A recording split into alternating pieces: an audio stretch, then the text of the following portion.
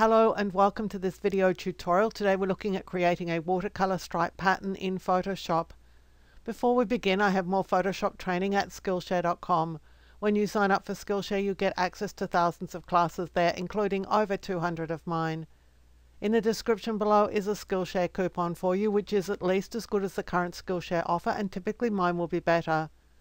Please feel free to share this coupon with family and friends. Let's return to Photoshop because I want to show you what the issue is in creating these patterns. This image was sent to me by one of my subscribers who asked that when they were trying to create a watercolor stripe pattern, they had this issue. They had obvious lines through the pattern, and this is what we're going to look at today.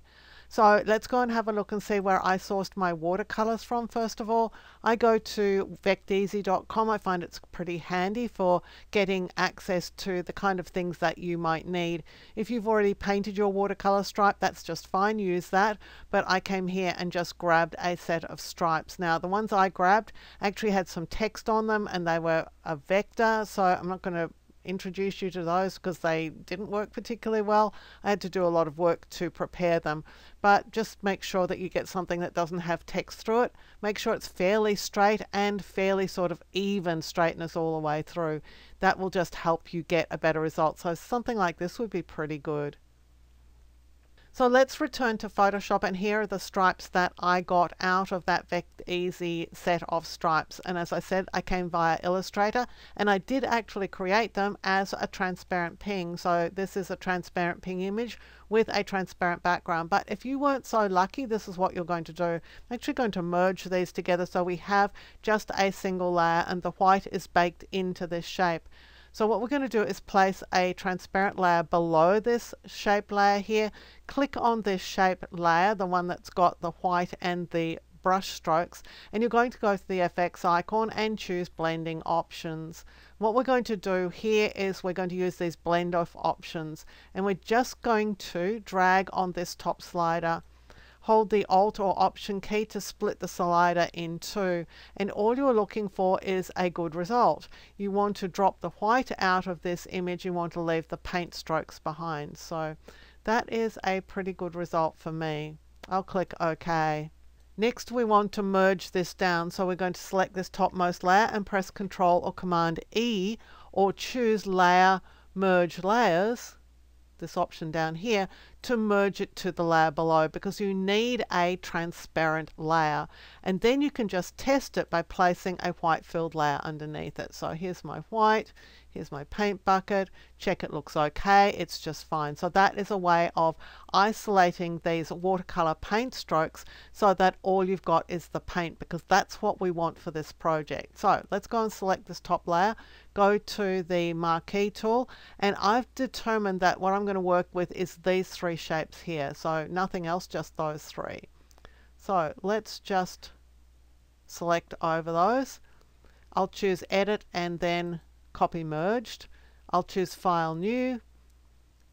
Click here on the clipboard because that's the size document we're going to create and then choose edit paste. So that should paste your stripes in. Now I find it easier to work with vertical stripes than horizontal, so I'm going to rotate mine. Image, image rotation, clockwise 90 degrees. Now you can do that or not as you please. As I said, it's just that it makes better sense to me. I'm going to turn off the background. We're going to focus on this layer. And what we're going to do is cut it in half. So we're going back to the marquee tool. You're going to drag over the top half of this set of shapes and then you'll choose layer new layer via cut and over here in the last panel you'll see that you've split your shape. So there's a top bit and a bottom bit. What we're going to do is bring the top bit here all the way down to the bottom of the artboard so you'll hold the shift key because it has to travel in a perfectly vertical direction and just drop it at the bottom here. Then go back and get the other layer. You can turn this layer off if you need to and move this to the top. Again, holding shift because you have to move it in an exactly vertical direction. Now, you can see that we've got a big gap in the middle here. What we're going to do is go and get the one that we just moved, this top one. Again, holding shift, we're just going to drag it down now so that it sort of overlaps the pieces at the bottom because what we're going to do is join them up at this point. So having done that, let's go to the crop tool and let's just bring the crop rectangle down so it sits immediately across the top of this shape and let's crop it. So the next thing we need to do is to blend these in so that we create some stripes. It might be easier to do that with the white background visible.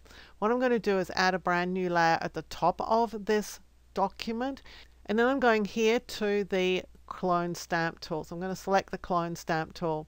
I'm going to choose sample current and below. And so what we're going to do is sample from the current layer and this immediately below layer. So we can't get color from here but we can get color from here.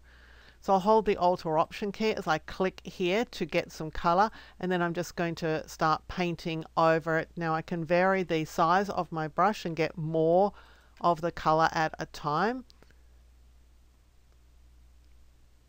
And what you're looking to do is to seamlessly blend this. Now you may find that changing the opacity helps. Now I already had that opacity much lower. Let me just show you what happens when I have it at full opacity. You'll see that sort of operates a bit more like paint and that may not be what you want. I think that operating at somewhere between 75 and 50% opacity will actually give you a better result. Just get a sort of smoother look to the painting that you're doing. You can also experiment with having Aligned turned on and not turned on as you will get different results with that. And so you're going to come over here and just repeatedly copy and paste or use your clone stamp tool to try and even out the middle where these lines join. Now this could take quite a while. And you can also go and change the settings for the clone stamp tool. You may want to bring in everything. So you could sample all layers, which will give you a bit more flexibility. You can actually sample some of the content from the layer that's sort of two below, if you like.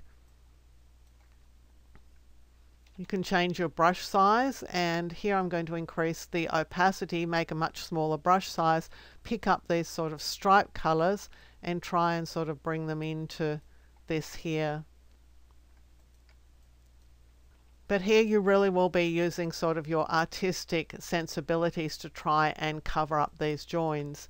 Here the problem with this join is that it's on an angle. So let me just zoom out a little bit. And you can see that there's a sort of angle issue here. How you'll solve that, one of the methods you could do is to borrow some of this edge here. So what I'm going to do is go and grab this edge. I know it's coming predominantly from this layer here, so I'll copy it and then I'll paste it. And that will paste into a new layer. Here it is on a new layer. And I can just bring it in here and try and place it they just move it to the top of the layer stack here and place it along this edge maybe rotate it a little bit so that potentially it will form an edge along the side here.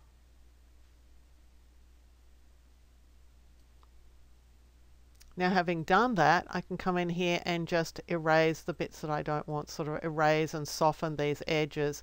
If I soften down my eraser so it's got sort of zero hardness and also use an eraser that's a little bit sort of fluffier if you like, then we might be able to sort of blend this in. So using an edge from this shape to actually recreate an edge that we didn't have.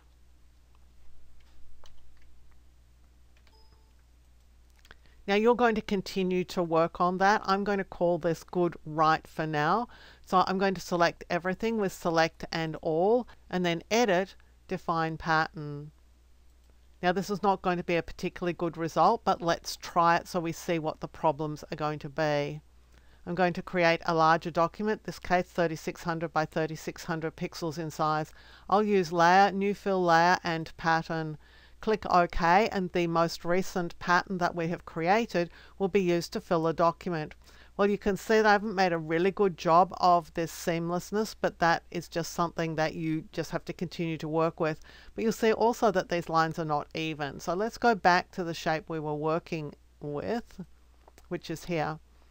I'm going to merge everything down at this stage, so I'm just pressing Control or Command E until I have all these lines on a separate layer, just one layer.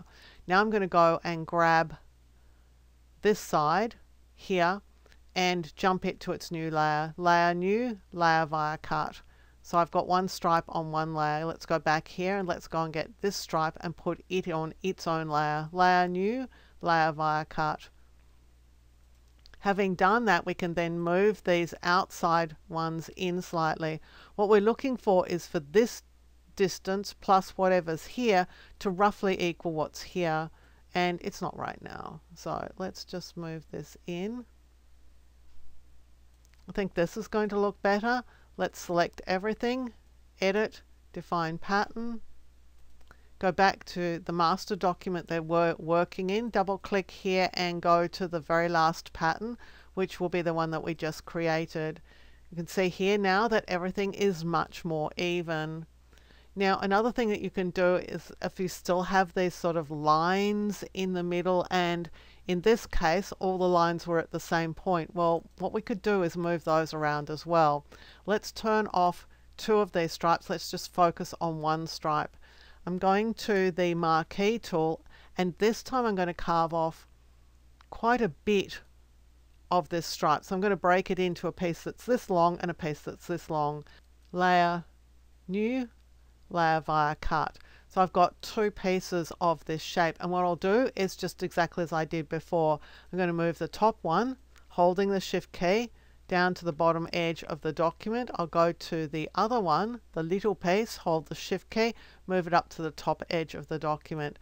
And so now we've moved our bad join or the sort of more obvious join elsewhere in the document. And so when we select everything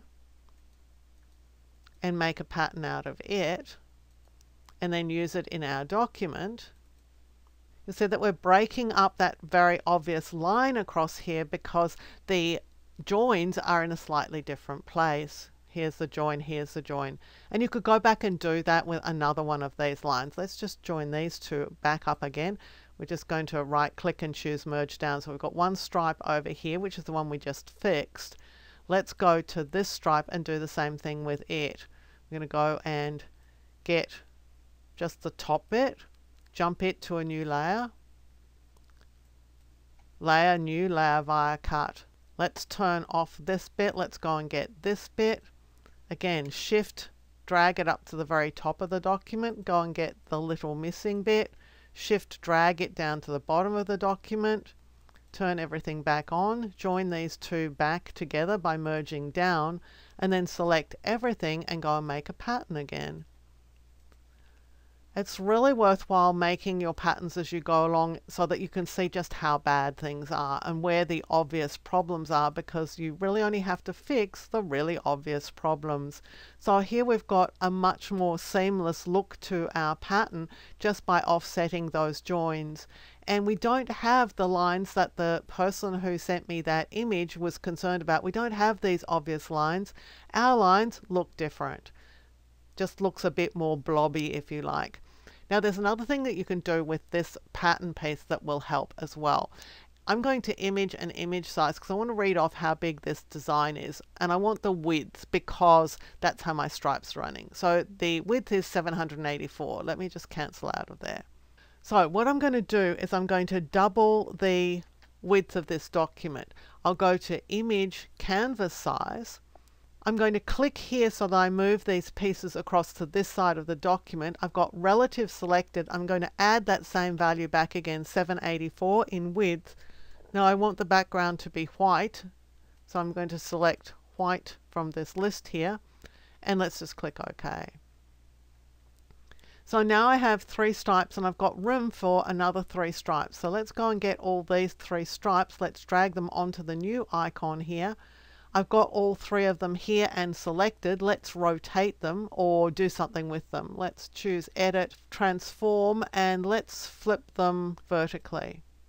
And then I'm going to move them across the document. So they're a little bit different to the first three stripes because they've been flipped.